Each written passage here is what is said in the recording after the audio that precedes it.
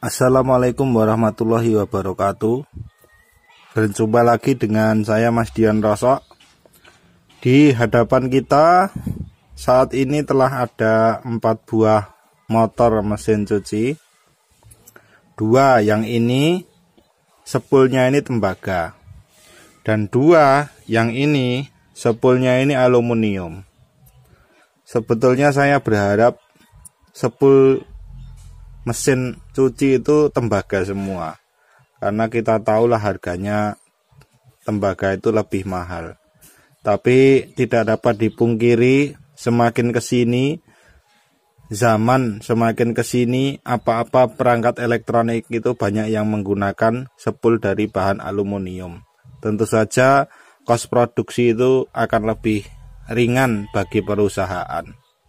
Nanti suatu saat itu akan tiba masanya sepul motor itu munium semua.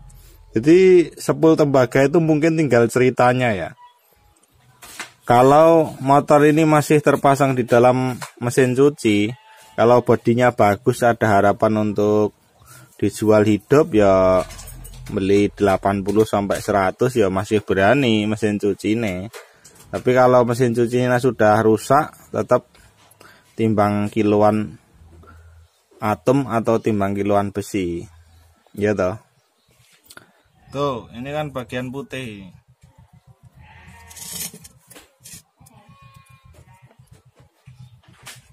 Hmm juga putih toh.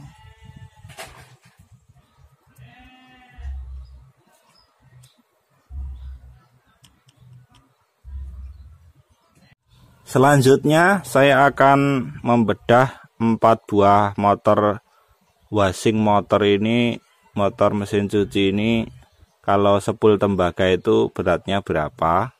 Kalau sepul aluminium beratnya berapa? Terus nilainya berapa? Sebagai perbandingan betapa murahnya sepul aluminium itu dibanding sepul tembaga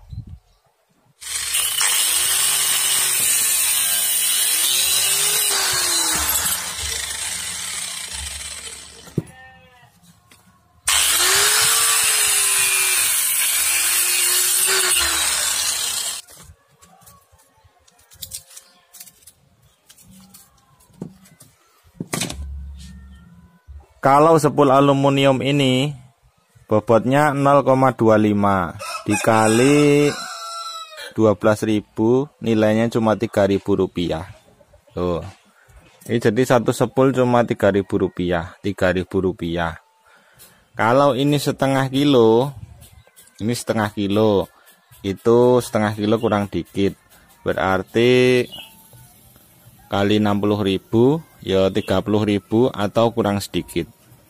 Jadi intinya teman-teman sepul tembaga satu buah washing motor itu biasanya setengah kilo atau kurang sedikit.